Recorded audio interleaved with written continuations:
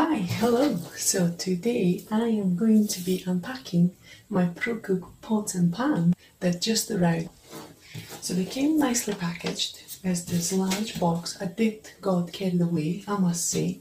But the thing is, my kitchen is new and I needed quite a lot of stuff and up until now I had only things just for make do and I feel like that point just came, I have to have a little bit more quality cookware because um, they're not good quality. I mean, I had a pan that I think it was from Sainsbury's home and I only used it for a year. It got scratched and Teflon up until it is new you can use it but after that you're supposed to get rid of it because um, there used to be a time when the Teflon was toxic. Now I know things have changed but I'd rather not uh, trust that, that everything is safe. I'd rather be on the safe side by thinking it's not safe. So, without further ado and me rambling, let's just see what this box contains.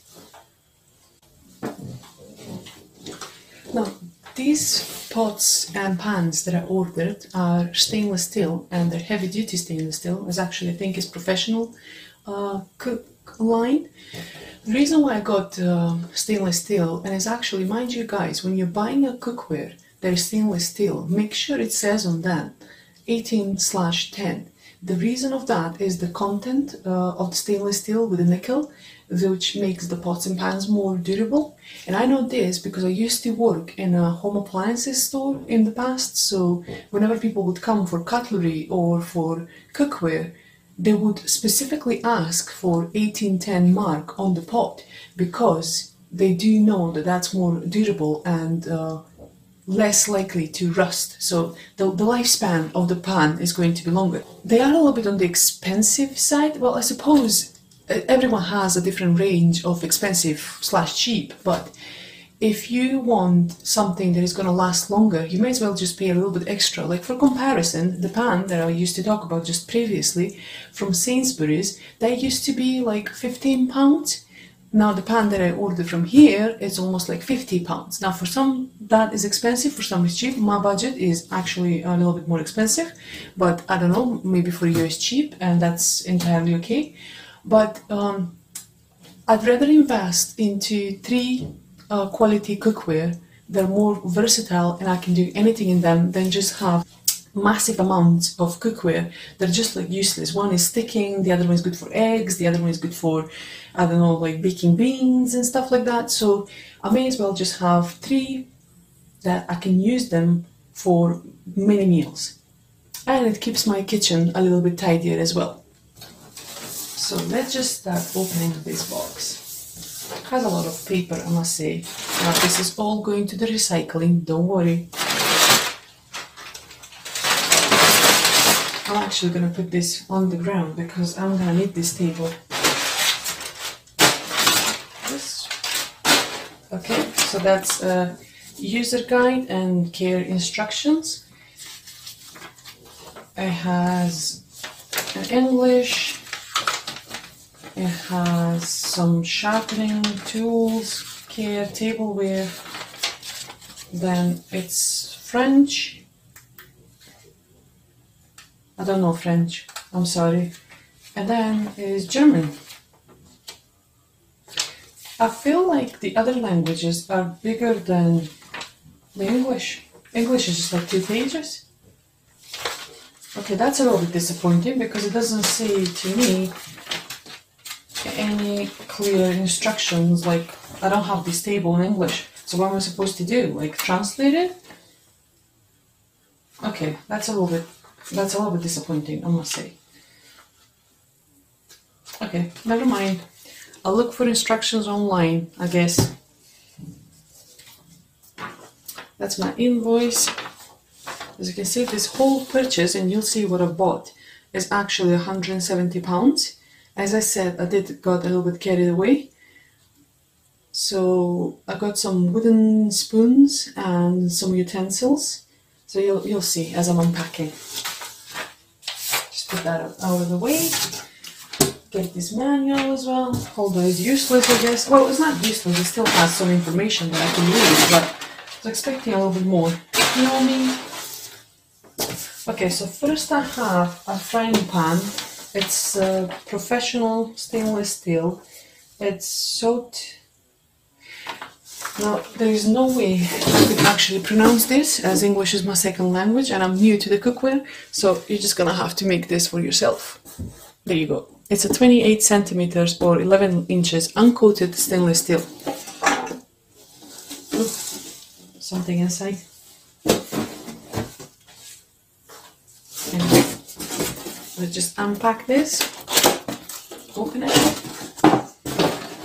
They're nicely packaged, I must say. Like this uh, cardboard is uh, quite uh, thick, so I wouldn't expect any damages on them, as you do get sometimes some damages. Ooh. Ah.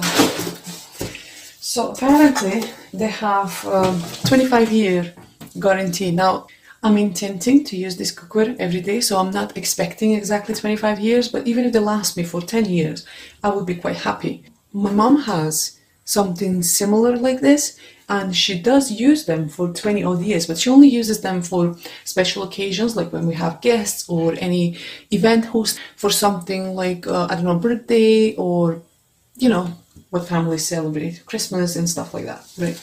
So you can use this on induction, on a ceramic hob, on a gas, electric, is dishwasher safe, is oven safe, and it's made in China. Um, that's the web page and it's British design right. So let's see what it says on the back. So before first use remove all the packaging and labeling from the pan. We've done that. Wash the pan in hot water and dry thoroughly. Stainless steel cookware care. If stainless steel is overheated and get discolored i've actually seen this happening. I've seen um, the stainless steel I, I, I thought that it was uh, the quality but sometimes yes it is the quality because because they have a thick um, bottom, they're supposed to distribute heat much more evenly. So this should be not a problem to actually heat it up. So let's see what the instructions are saying. The surface can develop a blue hue during use, particularly on the interior. This is not a fault with the product and does not affect the pan in use. If using salt during cooking, always add to hot cooking liquid or food. Never put salt directly on the stainless steel surface or in a cold pan as it can cause pitting on the surface of the stainless steel. Do you know that I actually didn't know this? I mean, everyone puts oil first in the pan, I guess, and then puts salt, but it's actually that I never specifically knew. Thank you, ProCook. It's good to know. Special instructions for the use on the induction hob. Mine is electric, but still, I am going to say this. Induction hob can deliver extremely high heat outputs often as double or triple times that of a typical gas hob. Therefore, extra care must be taken to reduce the heat setting as exclusive heat will damage the pan.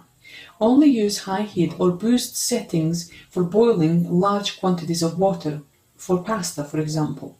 Reduce the heat setting as soon as the desired temperature has been achieved. Do not use boost setting to heat oil or fat. So, special guidelines for the dishwasher use. I don't have a dishwasher, but this is for someone that does. To prevent glass lids becoming cloudy, it is recommended you use rinse aid, which prevents limescale clinging into the glass. Yeah, that's that's actually something very important because um, it does look very old and worn. And to be honest, like even if I did have a dishwasher, I would not put these pans into the dishwasher because sometimes you just don't know what's the capsules that you use into dishwasher. I mean, you could be thinking that they're high quality, but you know, it's like for day to day, everyday things, I would put them in the dishwasher. But when it comes to something that I would like to keep it good for longer, I'll just give a, um, a, a clean on hand. Some dishwashers have a abrasive nature and can dull the finish of the pan. This is exactly what I was talking about. That some can they can look a little bit like they've been worn and then they're old, and I want them nice and shiny. So anyway, enough about the instructions. Let's see the pan now. So it's quite heavy. I think it was like two kilos. I might be talking nonsense. I'll correct myself if that's the case. But yeah, I've read somewhere that they're like almost eight kilos and has this super dry to keep it dry inside so it doesn't get any moisture, so it doesn't get any rusty. The bottom feels very smooth and even.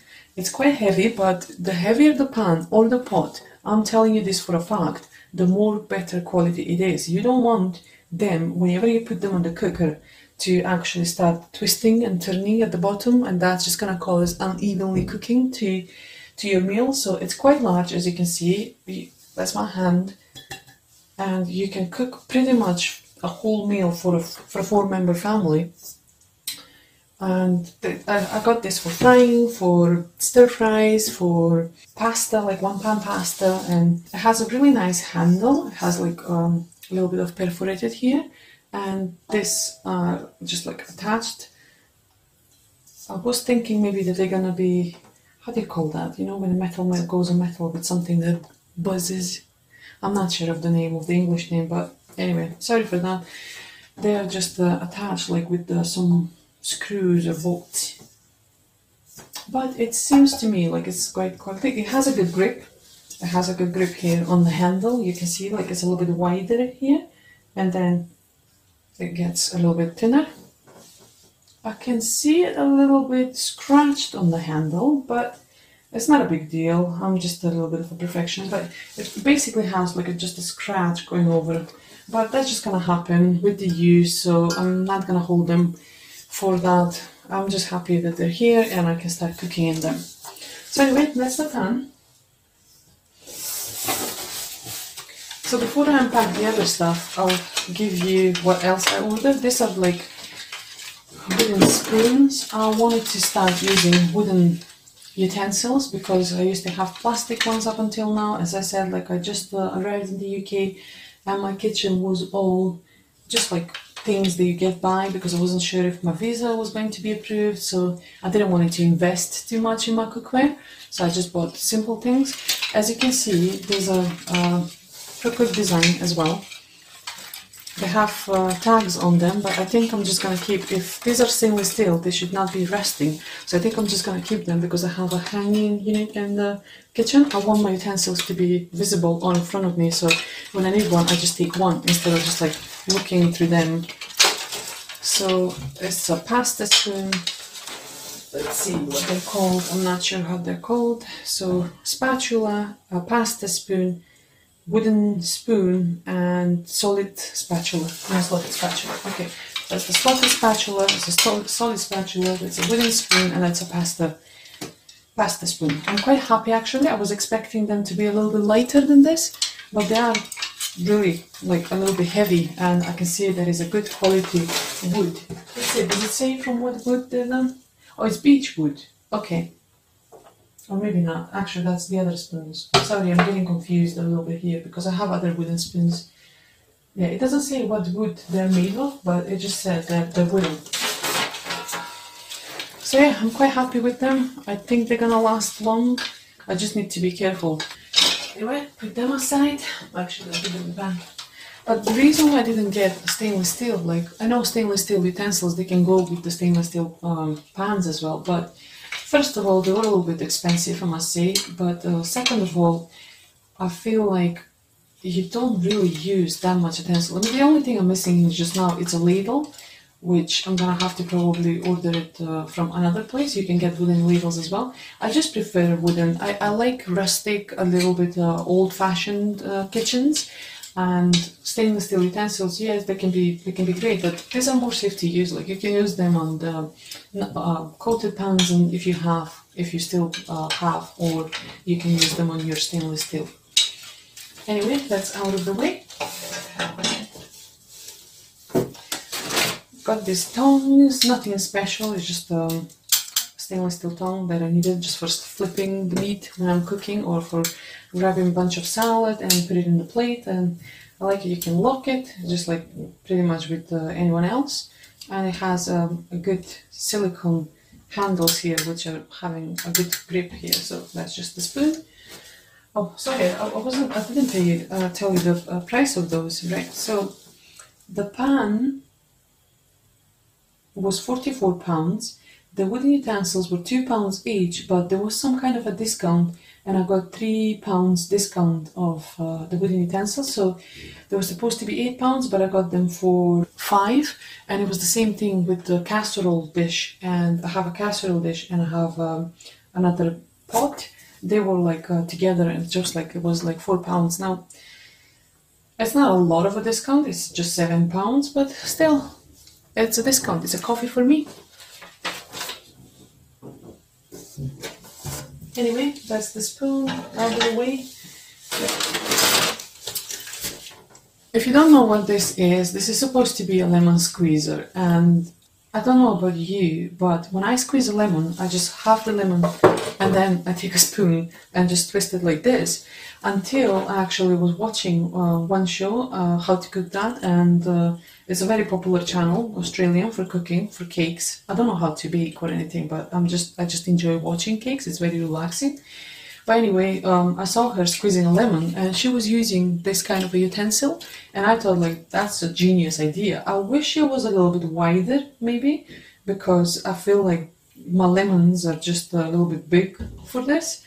But it doesn't matter, you can always squeeze the lemon. So basically what you do is like you get the lemon into your hand and you put it like this and then just turn around this spoon until the lemon drips wherever you want it. So I, I think that's just great because I used to do it, as I said, like just take a spoon and just turn it around the lemon because there is no way I'm going to be able to use um, force to just squeeze the lemon or I don't like using the um, uh, utensil that you get uh, with a tree underneath because that's just like more things to wash. This is wooden, you just um, do what you need to do with the lemon and actually feels very heavy and feels very nice.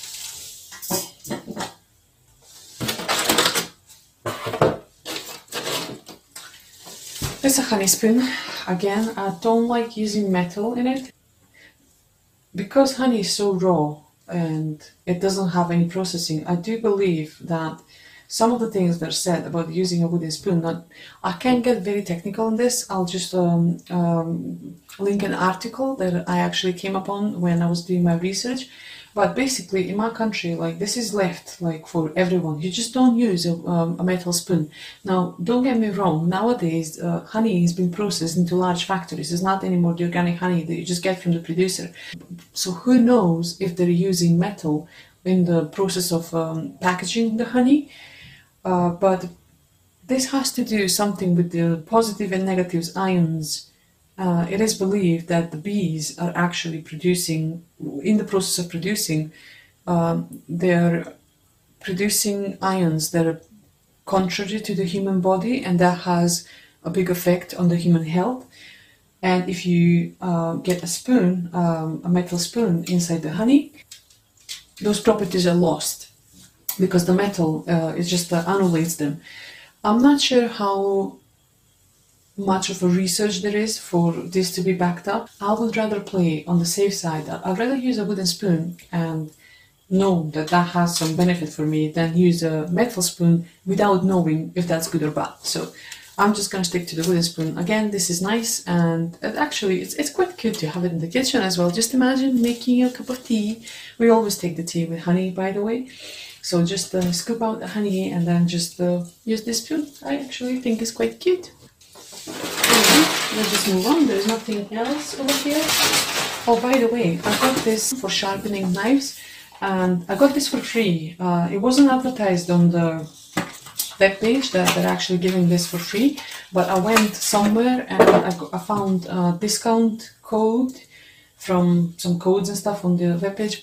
I went on Google and I researched for discount codes ProCook because I had a large uh, order and it just gave me a free um, a free product, which is this whetstone. Apparently, it's supposed to be like over 28 pounds, which I, I'm not sure how true is that. Let's see if the price is actually somewhere here. No, it just says ProCook Whetstone 60 grit, it's zero pounds. I'll, I'll see on the web page how much this costs. I, I don't believe this is costing more than 10 pounds anyway. I don't believe it's 20 odd. So it's 60 grit, ProCook, uh, their own brand, and it feels really nice. It uh, feels very uh, heavy, and actually there was um, more uh, codes. There was one for um, uh, some knife, another one for another knife, and this was uh, for the stone. I do need a, a, stone like this for sharpening because I found that the stainless steel sharpeners, you know, the, the ones that are just like icebreakers, they don't really work a lot for me. That's just me because um, I actually think it might be the knives because they're not really uh, super premium quality. They're just like cheap knives from Russell Hobbs or something, I think. But anyway, um, that doesn't do the work for me. I do believe this is going to do a better job. Anyway, let's just put this away. So it does give you instructions how to use. I appreciate that because not everyone knows, especially younger generations like us, not everyone knows how to use it. So I do appreciate the instructions at the back. Okay, so we have two more left. And let's just see, I'm gonna go with the pot first. Let me just get it's quite heavy. Okay, so here it is. Take it out from here.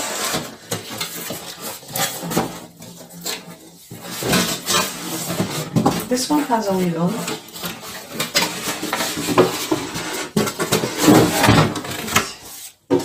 Caused an accident.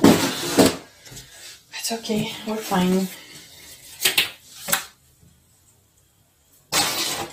Okay, so the lid feels a little bit light. I don't really like that. I was expecting the lid to be a little bit like a thicker glass, and you can hear that this is not very thick. I mean, it's not bad, but I don't know, maybe I was just uh, having different expectations.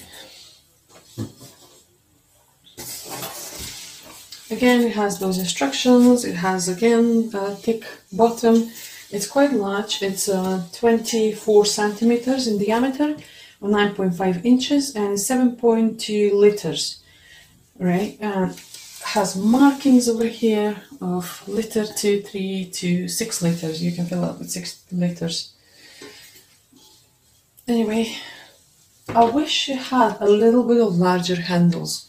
Now, I have small hands and that's alright for me, but I would appreciate if it had a little bit more space here. So whenever you're just like filling it up with water, just go grab it. It just, it's a little bit um, tight here. Other than that, it has the same handles. I was actually aiming them to be a little bit like a, from the same program, so they don't differ a lot. It has a very, it's quite heavy again, which is a good thing. I'm not saying it's a bad thing. Um, it's the same material and everything. Um, we can use this lid. And again, I feel like this is a good pot for a good sized family. You can cook uh, a, full family meal in it and uh, maybe have some leftovers. So, going on to the last one, and that's a casserole pan. I actually think uh, this is the same size as the pot a little bit. The pot is 24 and this one is 28. I did got one with lid and I think if I'm lucky the lid is going to match this pan as well. Oh, this one has a lid too. Oh, I'm sorry I just ah right yes sorry it was just for this lid to be matching on the frying pan that's what I wanted yep because they're both 28 centimeters yep this is 28 and that's 28 so it means the lid is gonna match the pan as well because I like sometimes when I'm frying things to cover it so it doesn't get sprayed all over the place anyway that's out of the way and here we go Oh, look at that. That's just so great. I love it. You can use this for frying. You can use it in the oven. It's just great for preparing so many meals. I love it. Again, it's quite heavy, 28 centimeters or 6.1 liter. It's the same program basically, and it really looks great. I mean, I can, I can see myself using this one a lot, and I mean a lot.